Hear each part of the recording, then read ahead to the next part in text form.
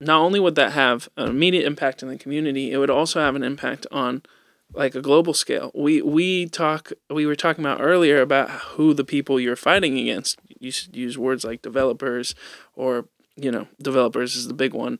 But really, those are like big corporations that are worth billions of dollars, including BlackRock, which is a corporation that owns everything, that has their hand in medicine, that has their hand in the food processing, and also has a hand in the American dollars that are going over to Palestine right now to f- fund like an entire genocide. So, like, how do you cut through a fence? one link at a time. So you disrupt something back home. You disrupt the a little bit of their money flow, which is off the base backs of tenants, off the backs of people who pay rent um, every month. Uh, you disrupt that just slightly, and then all of a sudden, a little bit of their attention is taken away from all the horror, horrors that they're causing across the the globe, and all of a sudden, you start to feel like you're getting that power back that we feel so like lonely. It makes us feel bad. It makes us feel like we have no power when we are just scrolling on Instagram or posting on Twitter or whatever it is. Um, all of a sudden, like you were describing, that community, you look around pe- people you're genuinely affecting, you're making their lives better, and all of a sudden, not only have you made a difference in your neighborhood, you've made a difference in the country, you've made a difference in the world.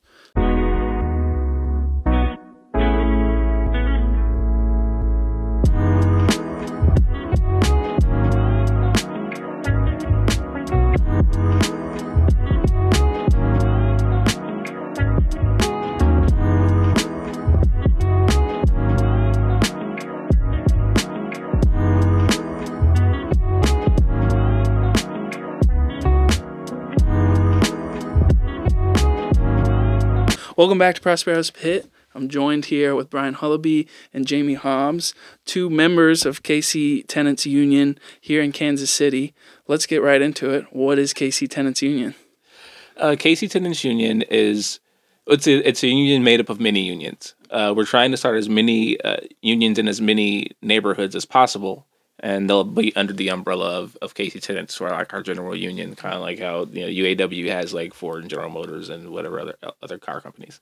Something similar similar to that is what we'd like to have. Mm-hmm.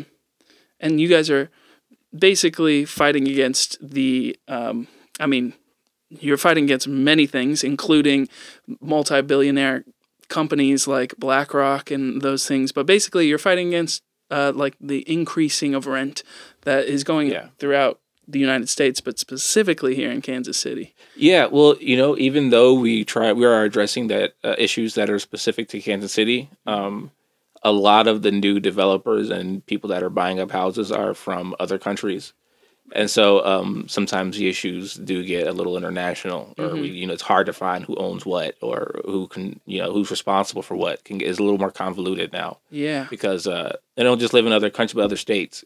You know, like um, one person that owns a particular large amount of amount of uh, property in Kansas City is actually based out of Cleveland. Okay. Uh, I grew up in Parade Park. It's the oldest black-owned co-op in the country, and uh, one of the people. It's on. It's for sale now.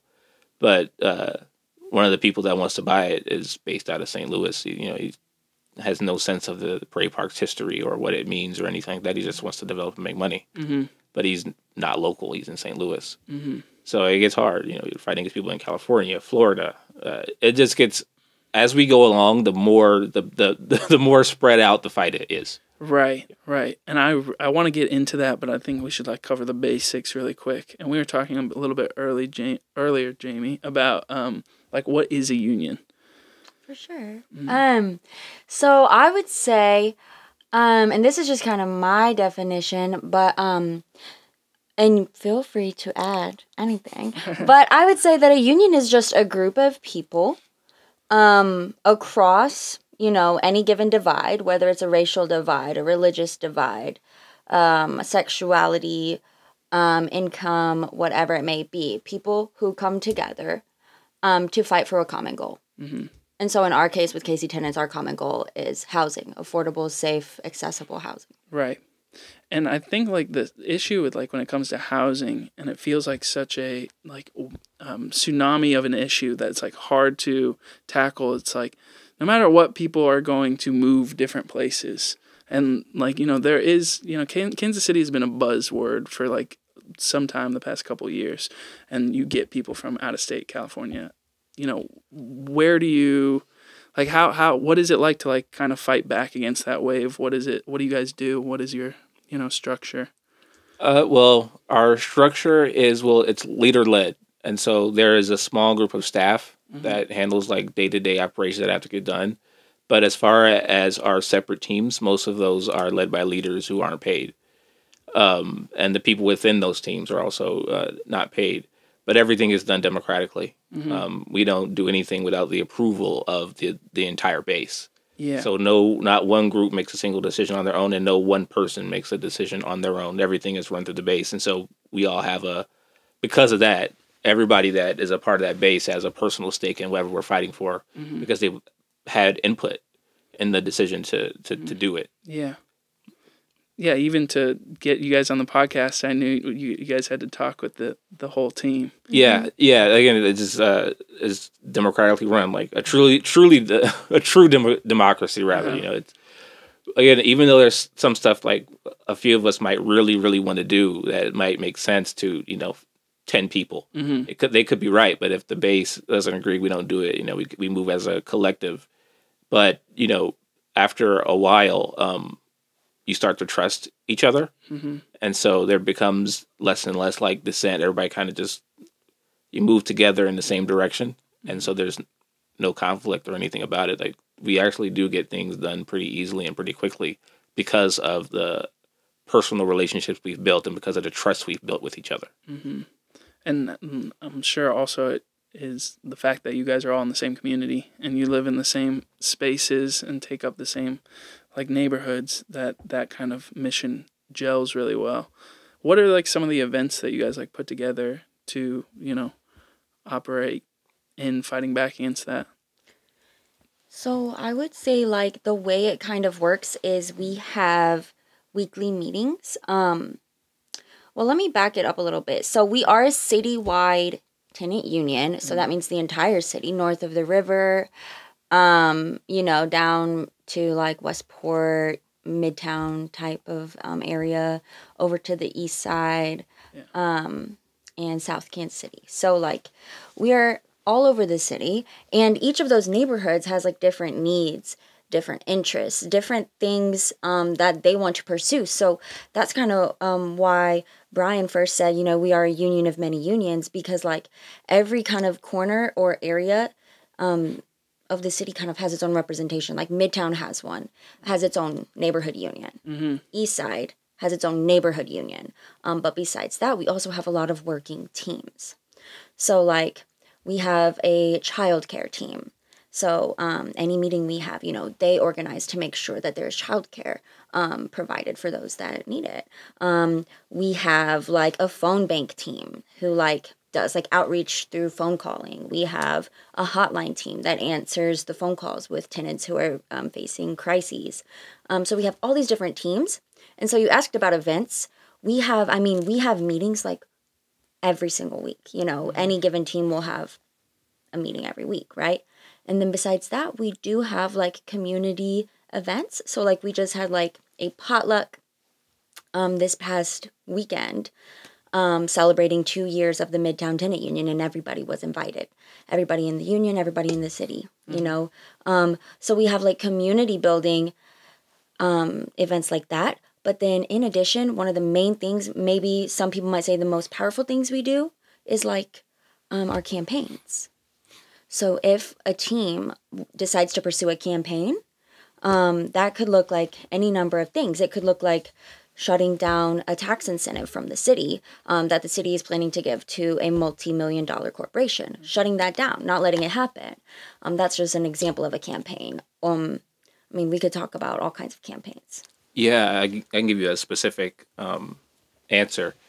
Uh, when we were doing the uh, i believe it was uh, right to counsel um, we had a very small window to get it done but even though we were like kind of uh, I don't want to say unprepared, just kind of surprised by the the opportunity once we recognized it. Uh, we didn't have time, a lot of time to organize, but uh, we made it happen, and we made it uh, happen the way we always make things happen. That was still a democratically uh, chosen thing. But what happens first is that we recognize the need. Uh, we go to the strategy team, which is the the team that sort of uh, looks at things and discusses things uh, first and says this might not be a good thing to do. But if it is, then we before we even do it, we take it to the base. And so we did it with the right to counsel. But then we had like we only had like two weeks. Realized there was no ordinance actually written, so we had to write one. And we wrote the ordinance in like 48 hours, 24 or 48 hours. But uh, there was a specific team that worked on that, and we had no expertise in it. They were learning as they went along, so they were like doing like legal research while they're writing it. And uh, we still took that back to the base and said, "Is this something you guys like? Are you okay with uh, putting this out? Mm-hmm. Yes or no?" It goes yes, and then we take the next step to uh, get the ordinance passed, introduced to the city hall and, and mm-hmm. or council and get it passed. Um, so that's a one example of um, a specific campaign and, and how it worked. Mm. How many team members usually are involved in that?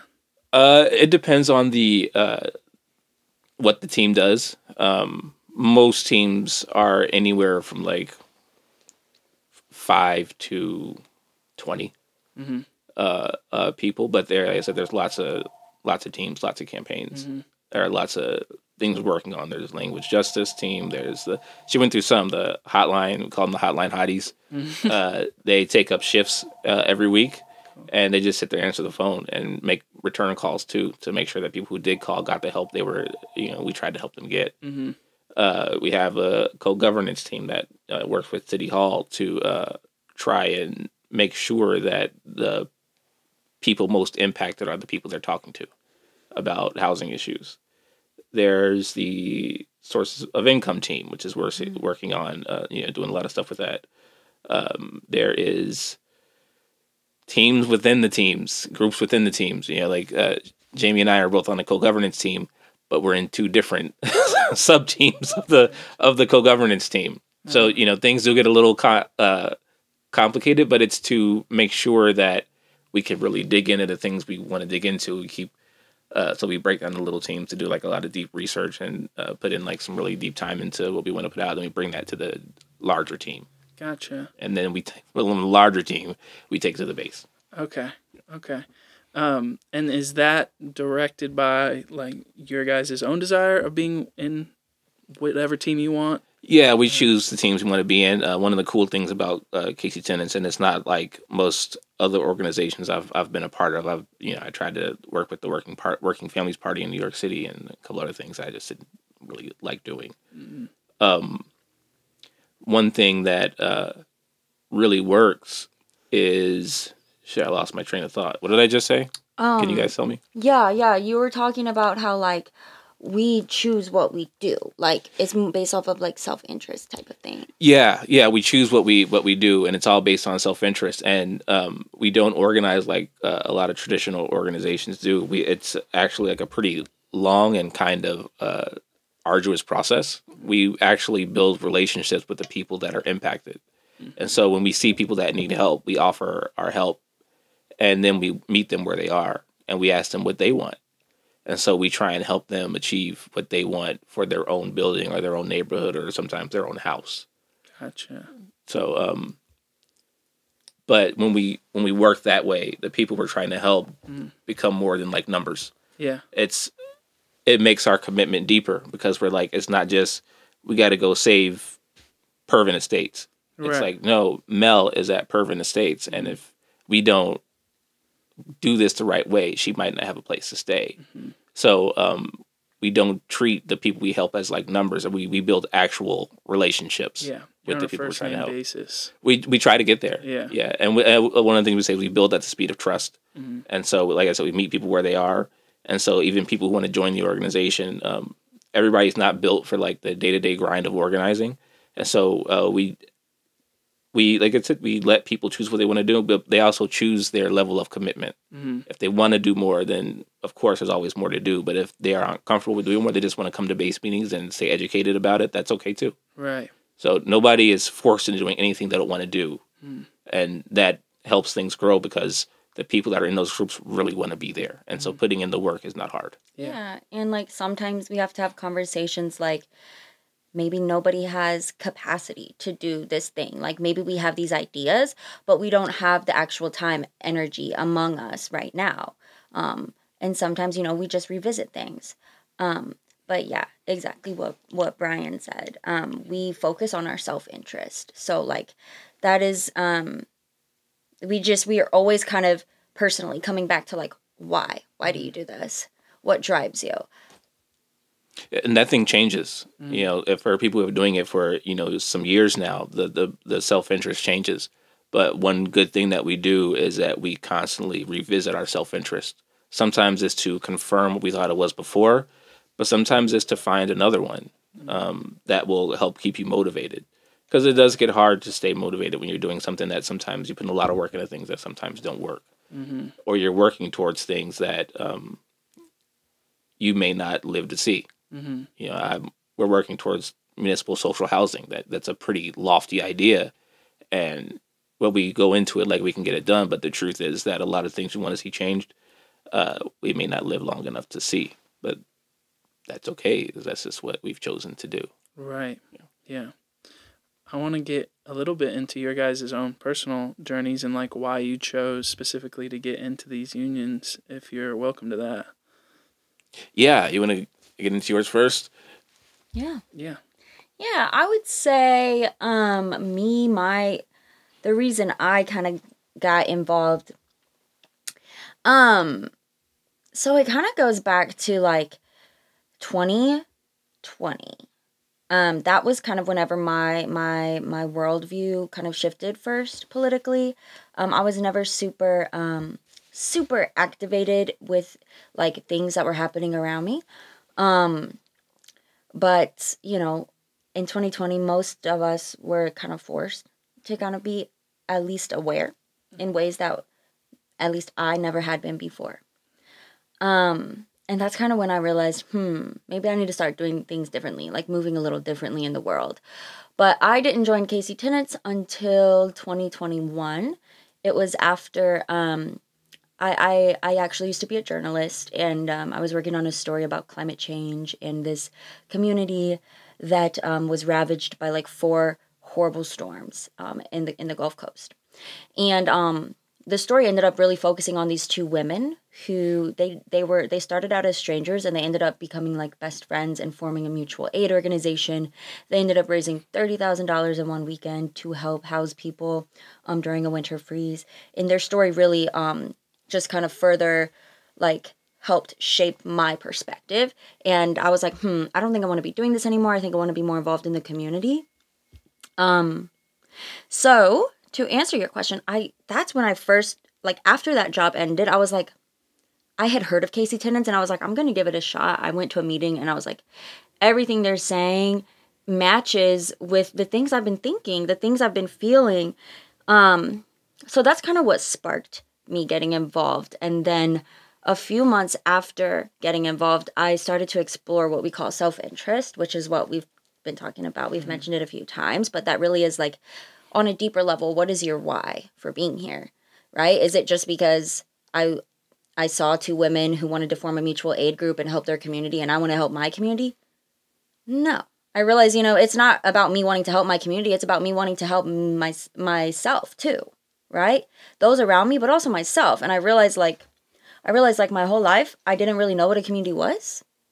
I didn't really know the the meaning of community.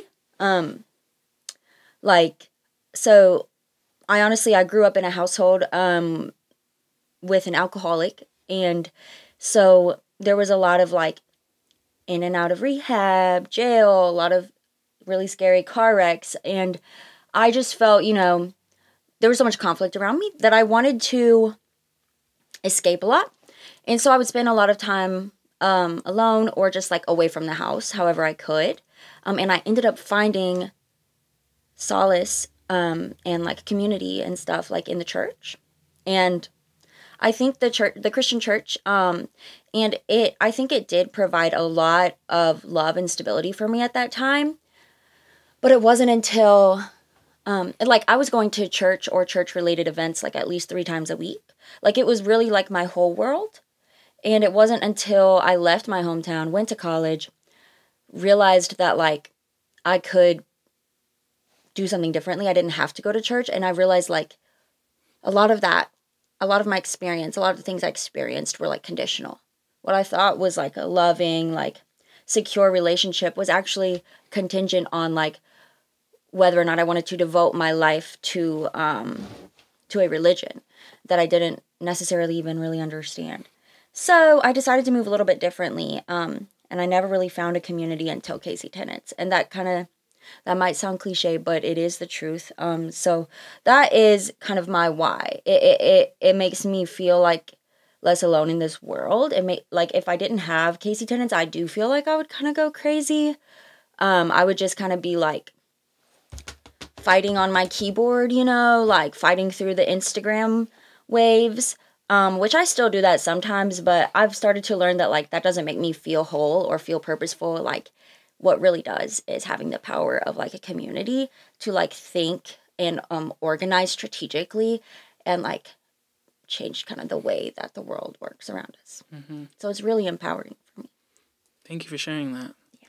And that I I think you're not alone in feeling that way and feeling that you know um, you're not we're not doing enough you're not doing enough you're not part of anything like real.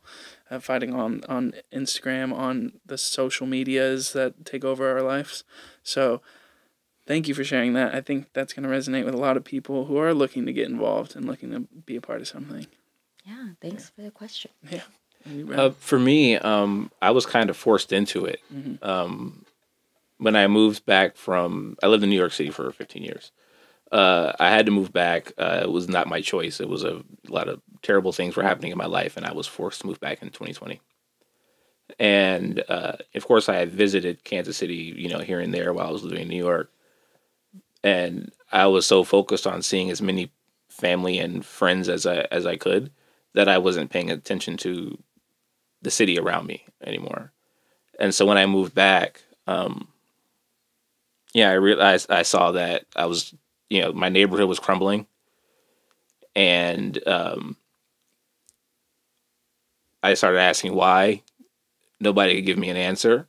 Then I realized that they were trying to redevelop it, and the residents didn't have much say, and everybody was scared they were going to get kicked out, and that the neighborhood would no, longer be gone, uh, be there.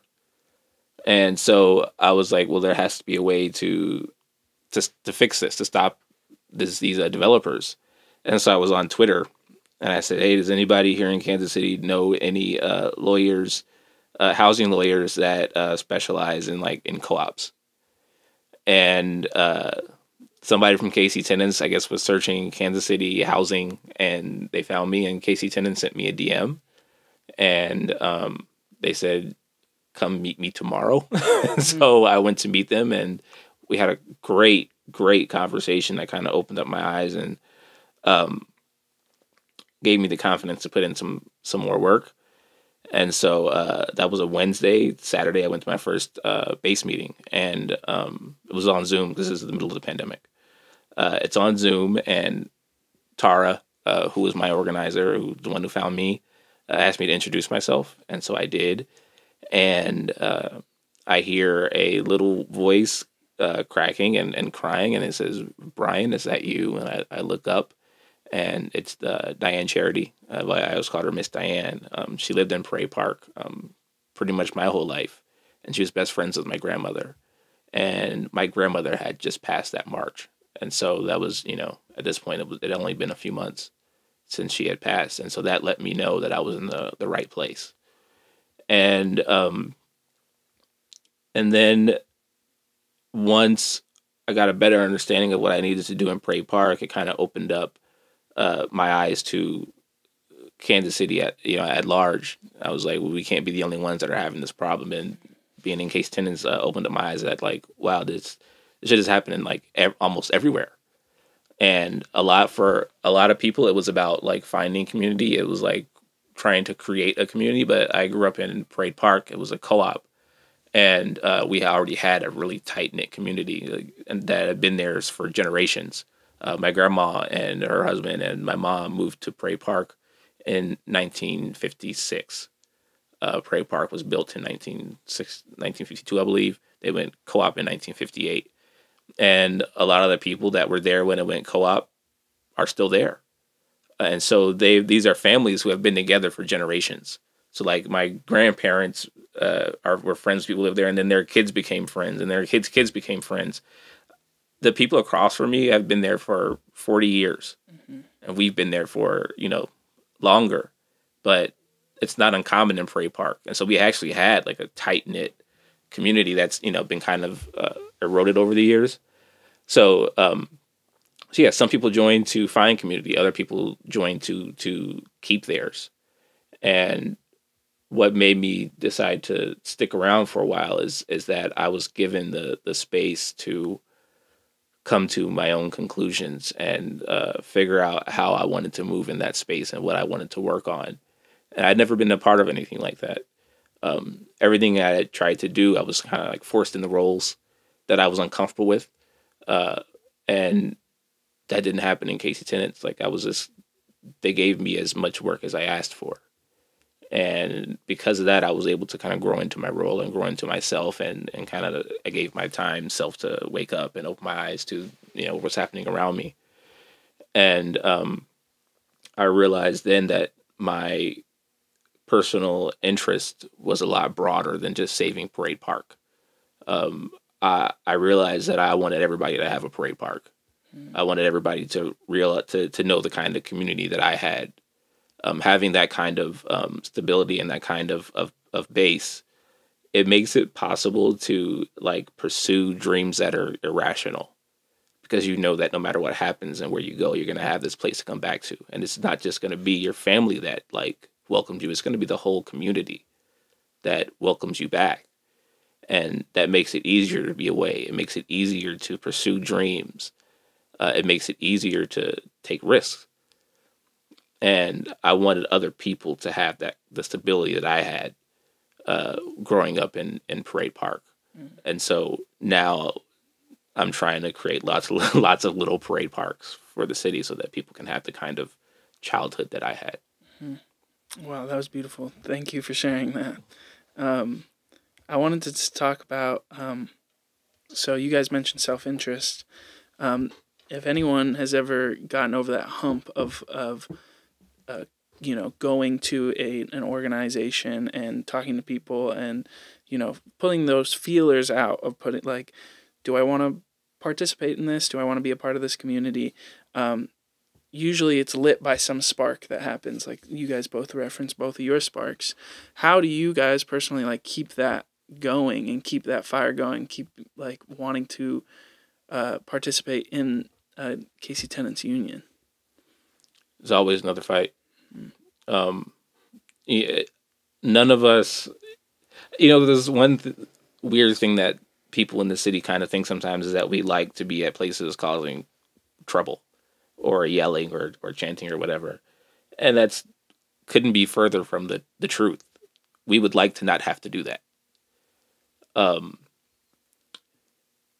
and shit, I lost my train of thought again. What was I saying? You don't want to be causing trouble? yeah, we don't like to cause trouble, but we're sometimes forced into doing it. Um, and other, and so that's also like at the tail end of what's already been a pretty lengthy battle of trying to do things like the, the more acceptable way, which is like to talk to somebody in city council, get their ear, try and talk to them, and try and get them to you know slow down this ordinance or this bill or whatever it is that we want stopped. And um, we do that. We write letters Mm-hmm. We make phone calls. We go to meetings. Uh, we go to city council like to testify that this is not a good idea. And if those things don't work, then we show up to places and are a little more aggressive. But it's not something we enjoy doing. We would like to not do that. Mm-hmm. Um, it's not something that's fun. Yeah, uh, we prefer to be like behind the scenes, doing the good work, helping people uh, on a personal, like one on almost a one on one basis. Mm-hmm. But sometimes council or I won't say council. We are we are forced into situations where we have to be a little more aggressive. Mm-hmm. So, gotcha. yeah. Do you have to input? yeah to like so what i guess keeps me coming back is that i have seen that this works you know Mhm. like we actually have made and like tangible impacts here on our lives um um one of the things that brian actually mentioned earlier the right to counsel that's huge i haven't personally been affected by that but ha- the winning that campaign means that everybody in Kansas City, every renter who is facing eviction has a legal right to representation in court. And that is huge. Like that is not um, we are one of just a few places in the country that have something like this for people. And usually if you go to eviction court as a tenant, um, like in over 90% of the cases, the tenant will not have representation. The landlord, of course, always will and the tenant's always going to lose. But since this program has been in place in Kansas City, so many tenants have been able to stay in their homes because they have representation in court and they shouldn't be getting evicted in the first place. I mean, that is just the reality. So so I keep coming back because I see it working. It gives me hope. Um I mean, this world is so imperfect to put it lightly. You know, it's a mon- like a monstrous place to live at times um the horrors that you know we witness and experience on a daily basis um i just feel like if i didn't have a space like this like i said i i think i would lose it. Like uh, i would just fall honestly into a pit of despair. Um i mean and i've been there before. You know i've been in some really dark places mentally. And um it just all starts to feel more it just all starts to feel more calm whenever you can um whenever the the things that you're thinking and seeing and feeling are um validated and affirmed and um it, it just helps you move forward. It helps you find a way to keep going. Because so many times i'm speaking for myself but probably a lot of other people you just want to give up. And um it's very normal be- to feel that way because a lot of these things that we're facing in this modern world are like impossible like there's so many barriers to just like living at peace and just like having stability. So um so we have to like i feel like i have to have this collective of people who will be there for me if if needed. It's it's a beautiful beautiful thing. And um to go back to like my why um it's unconditional it's like you come as you are. You don't have to lie about who you are. You don't have to be anything you're not. We accept everyone. We have community agreements uh that we read at the top of every single meeting. Um you know everybody is welcome here regardless of anything. Mhm. um so yeah it's a it's a good it's a good place for me to be. Yeah, and um, to kind of piggyback off of a, a couple of things uh, she said, um, speaking of the uh, how we'd rather do things and uh, how uh, we have to do things, uh, the right to counsel campaign was actually a great example of us uh, moving in the way that we prefer to move. The idea came about. We wrote some stuff. We got we got input from people on city council. We worked with them to make sure that it was right, make sure that it was good, and then uh, city council helped get it passed. And that's an idea of uh, what we call co-governance, which is what we want more of, which is uh, city council um, working with the people in those communities.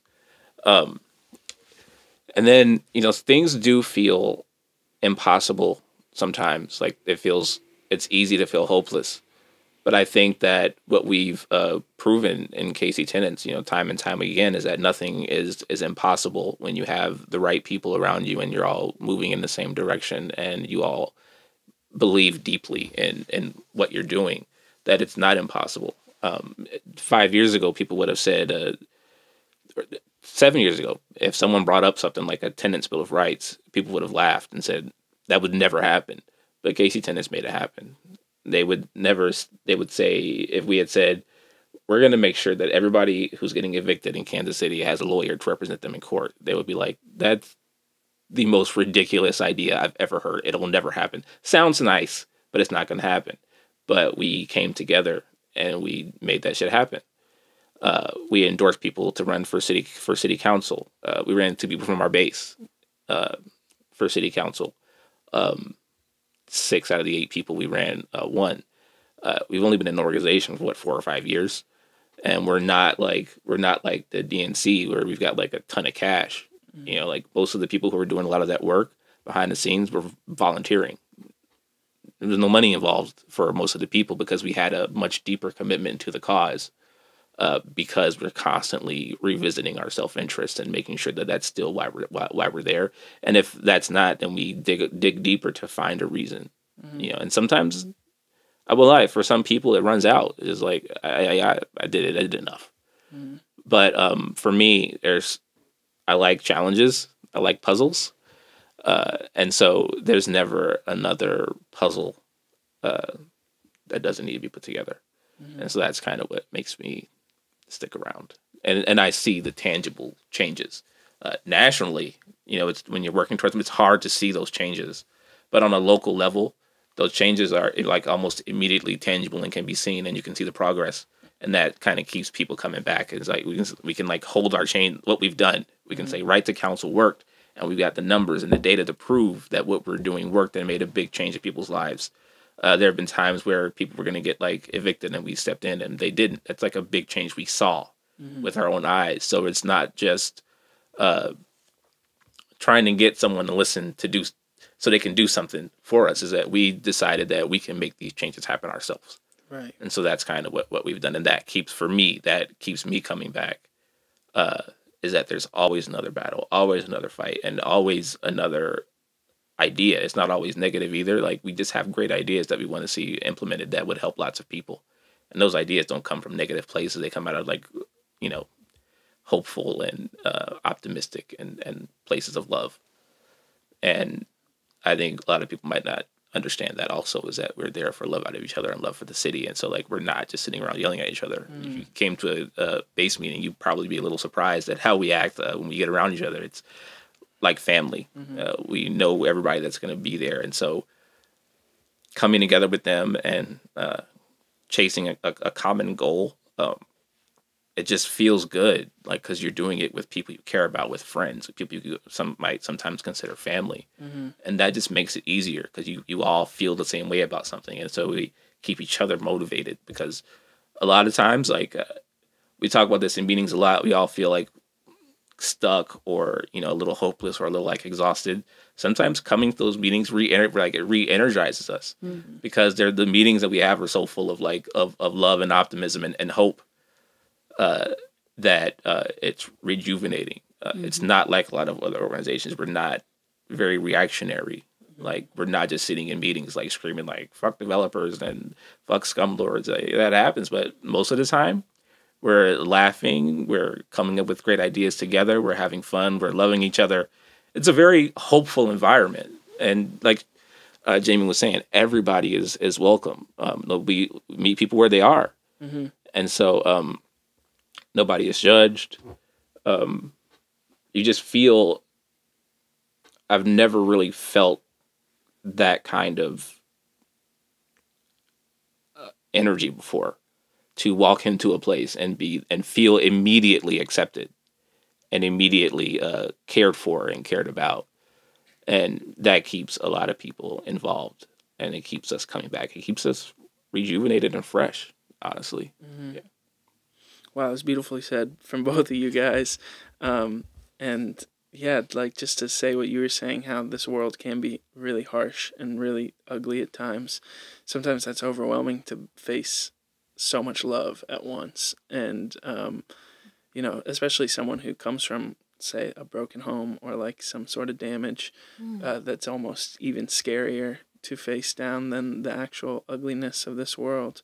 But um, i'm really curious what do you guys got going on right now? Like what is what is kc tenants union working on right now?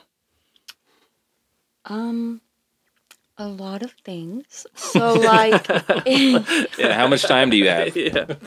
I feel like we should first mention the source of income campaign. Yeah. Um, so that is probably our most like, um, what would you say, like urgent campaign right now? That's our main focus right now. Main focus.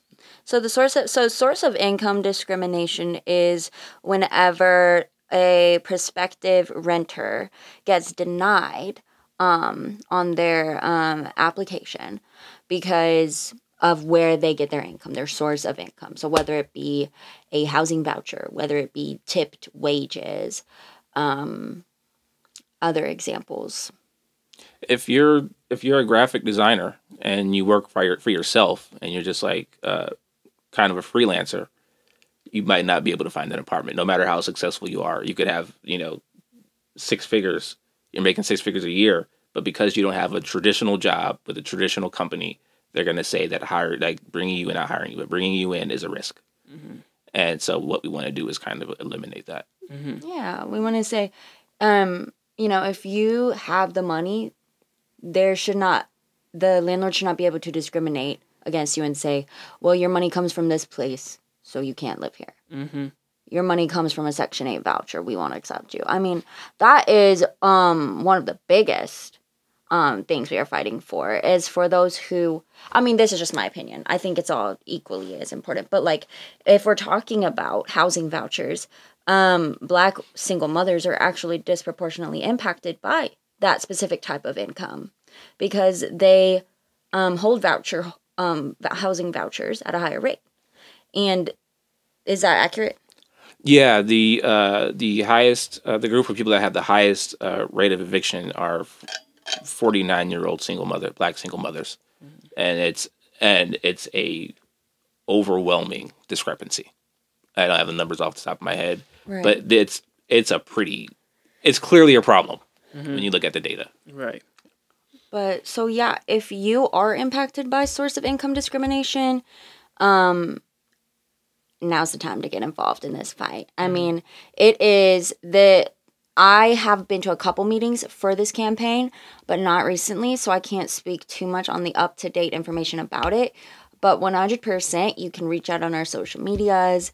Um, you can fill out the new member form, which is online, KC Tennant's new member form, and you can get plugged in um, to join that specific fight. Um, what what else is cooking? What else? What's good in the neighborhood? Language justice is something that we're working on too. Language access, language justice. Uh, you know, there's a lot of people in the city who don't speak English, and because of that, they don't have access to a lot of uh, a lot of help or a lot of services that they might need. Uh, they get evicted, and they don't under, they can't understand what's being told to them uh, because there's no translators in the court. They're not required to have anything like that. They're not, you know, most papers are, are um, literature from the city, a lot of it is not required to be in multiple languages. And so, um, what we want to do is uh, we're trying to, to do. I think I think we'll be successful is um, making sure that no matter what language you speak, that you have access to everything uh, the city is doing, and that you can be understood, and that you can be heard uh, in any city uh, function or any city building or doing any anything with the city. mm-hmm. So um, that's something else we're also working on. Where there's a co-governance team, which is working on uh, building relationships with um, people in the city, not just uh, like people on city council, but like people on boards and staff at city council. Sometimes, you know, just trying to get to know people uh, better and build. Rela- Again, what we do is build relationships. So we're trying to build relationships with uh, you know people at city hall. Uh, there's a uh, man at the hotline hotties if you like or think you might enjoy just like taking calls and uh calming people down uh, getting them uh put you know we're not a service organization so we can't like get people housing but we can point them in the right direction and try and find resources for them. Mm-hmm. if that's something you want to do you can do that. Um like i said we meet people where they are and there's a lot of teams happening a lot of ideas being pop- popped around. And so no matter what you want to do, there's I'm sure you can find something Right. within KC Tenants to do. Is a you know, of course like a, a press team that works with the you know press. And there's a just lots of lots of lots and lots and lots and lots and lots of teams, and then also we also have the separate unions too. Those are made up of people in KC tenants. Yeah. So there's the East Side Tenants Union that is uh, right now we uh, meet at the uh, WEB Du Bois Center Yeah. uh, Tuesdays at six, and there's the MTU uh, Midtown Tenant Union. Uh, there's the and Estates Union. There's you know lots of little unions all across the city that we're involved with or that we've uh, helped build. Mm-hmm. And so um, those separate unions are working on things that uh, are you know just within their communities. So that's happening, and then there's stuff working on like citywide Mm-hmm. also, and it's just there. You know, there are a million things that we're working on at the same time. And yeah, and I would say besides the like exciting like campaign um things like that might seem more exciting, we're always doing things like on the back end too. Like thinking about like long-term goals, um trying to build our base, trying to, you know, bring more people into the union. Um so things like that are always happening. Mm-hmm. Yeah, municipal social housing um, is one of the long term goals we have, and we are constantly working towards that. Yeah. That is something that we never stop working on. Mm-hmm. Um, and municipal social housing would be the housing that is heavily subsidized or completely paid for by um, the city or the state or the federal government um, that anybody would have access to if they needed housing or just wanted to stay there. Mm-hmm. and um, you know that would that would fix a lot of issues, um, homelessness and housing and just being unstable, like not being able, not knowing if your all your belongings are going to be tossed on in your yard when you come home from school.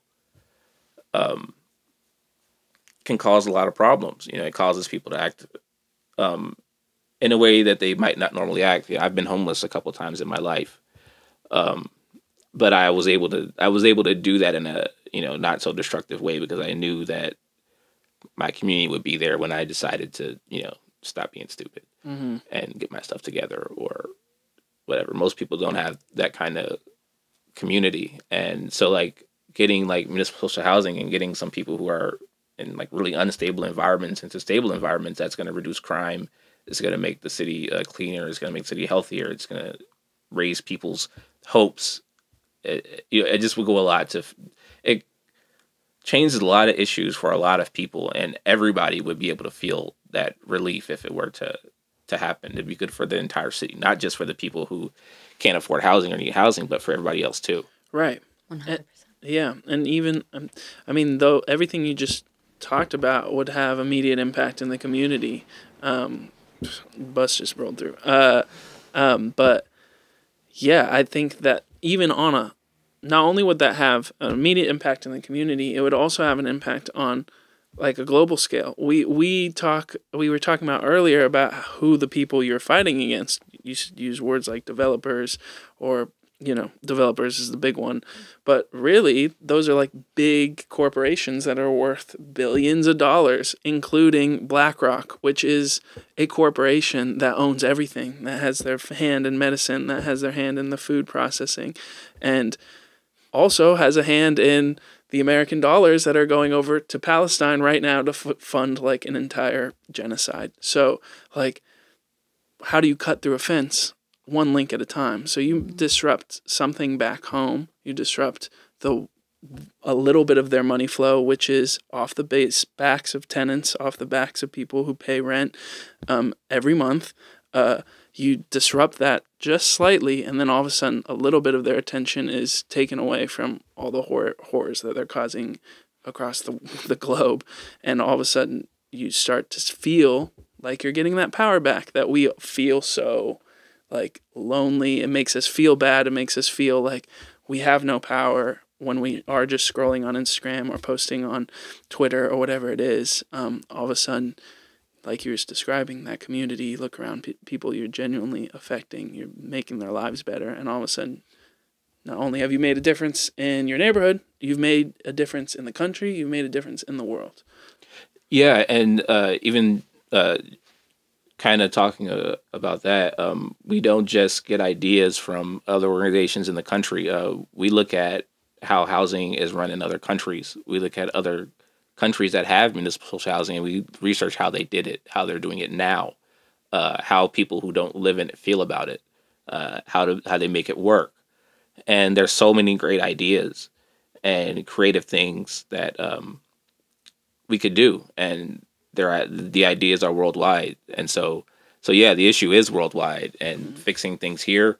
Uh, we've already inspired other people in other cities to start their own uh, tenant unions to take up the same kind of fight in their city, and we hope that influence just goes from not just to other states, but then across the world in any place where uh, people are marginalized, that those marginalized communities can see that a bunch of weirdos in Kansas City came together under a common cause and did a lot of great shit and mm-hmm. changed a lot of things for a lot of people.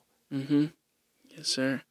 And also, uh, speaking of military contractors, um, Prairie Park is being sold uh, uh, next year. It's a complicated issue that we don't have time to get into because mm-hmm. I'll talk for twenty hours. But mm-hmm. but um, episode two, HUD uh, chose a management company to manage the property. It's called Loomis, and they've been really great to us.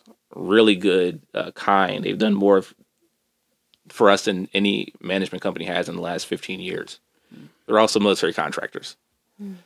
and so um, that causes causes you to have to do some mental jujitsu to uh, know that the rent you're paying is probably going to fund some kind of horrible war crime somewhere mm-hmm. somewhere else.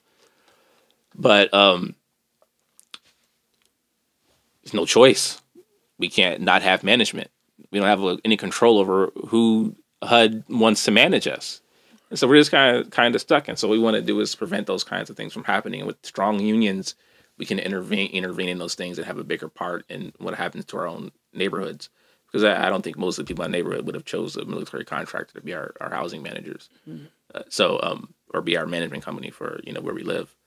So um so yeah, it's it can be like you said, BlackRock, other military contractors, yeah. other governments are just buying up property yeah. like crazy and um, putting an end to that or slowing it down can be hard, but we've done it. Mm-hmm. So again, like once you can see, you can hold those wins, it gets easier. And I won't lie, like sometimes the wins aren't like obvious to the city. Sometimes it's just that we block like some fucking slumlord from buying a, a property, and uh, I I won't lie, like running a slumlord off or kind of forcing them to make a change they don't necessarily want to make feels really fucking good. Mm, so you get a couple of those wins, and that feeling gets a little, uh, you know, there's like a, it's like NFL players once they win the Super Bowl, you're like, well, maybe they maybe they now they feel complete, like their career is worth something. Like, no, once you win that one, I wanna you wanna win more. Yeah, right. Uh, it's kind of like that. Like mm. once you see a change that you can hold a change that you made, or you just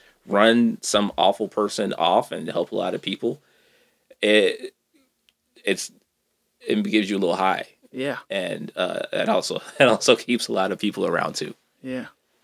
Amazing. Do you have any closing thoughts, Jamie?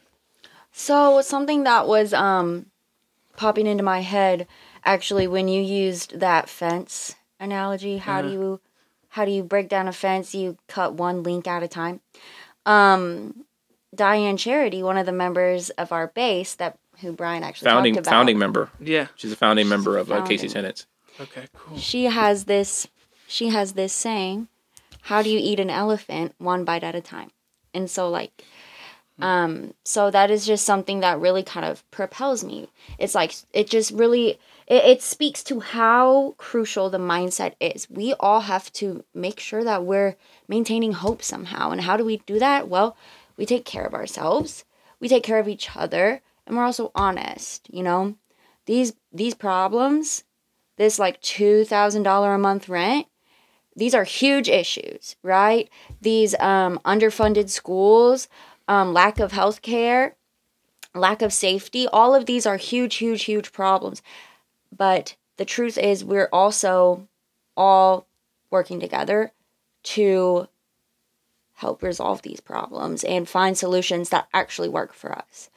Um, so you just have to m- keep that mentality, you know, like don't lie to yourself. Mm-hmm. Um, and say that like we can do it, like we can fix everything. Um, don't be delusional, I guess, but you do have to have a little bit of that delusion, Right. you know. hmm So yeah, I guess that would be my closing thought. Yeah, you, you do kind of have to be a little weird to look at a, a, a problem as complicated as housing and then being like, you know what, I got it. Mm-hmm. you got to be a little off to do that. But Right. being around other people who are a little off makes you not off. so Yeah, Yeah. But if you go too deep into that, you realize it's all crazy. But uh, you know. it is. You, you got to be a little crazy to run and run for, for office. Like these these problems are like massive, mm-hmm. and for some people to just like be looking at something like housing or anything that's big and complicated, being like, you know what, nah, I got it. Yeah. Put me in there, I got it. Yeah. Give me a, give me a year, and I'll, I'll fix it. Mhm. You gotta be a little wacky to do that. So, like you, like said, the, the, delusion is necessary, Yeah. but also, you know, when you get some wins, it becomes less and less of a delusion, and you're like, holy shit, like these things aren't dreams. Yeah. Like we're we can make these things happen, hmm and so they they don't they start to exist outside of like your dreams and hopes, and they become things that you can actually make happen, Yeah. and that's the the beautiful thing about KC Tennant. yeah. It's just the most empowering, like badass feeling to realize that like change is possible, um, and also to realize that like no one person can change the world. Like you have to figure out how to find common ground, how to work together. hmm Okay, amazing guys. Where if if people want to volunteer after watching this episode, where should they go? They can reach out to us on Twitter, uh, but the quickest way is to go to kctenants.org and fill out the new membership form, and somebody will get back to them, uh, you know, as quickly as as we can, but pretty quickly Yeah. to talk about how they want to be involved, if they want to be involved at all, or you know, if they just want to be a, a you know a base member. But some a person will reach out to every single person that calls. So um, so yeah, that's that's the easiest way to go. It's not hard to join. Like Yeah. it's super easy. It doesn't cost anything. Uh, just a little bit of time. So it, fill out the membership form. You're a member. that's Yeah. that's how it goes. Awesome. Yeah. Well, thanks so much for being on, you guys. I really appreciate the time you took to be here. This has been really cool. Like Yeah. uh, I like that it was uh, more of a conversation. We do also another thing we're working on. We have a we have a radio show or a podcast. Oh wow. Uh, I'm one of the co-hosts. Uh, we, it's on KKFI every third Thursday. At, I knew I was dealing with a uh, professional. seven. well, you're dealing with a, you know, an AV nerd who circled back around to being an AV nerd after Uh-huh. high school.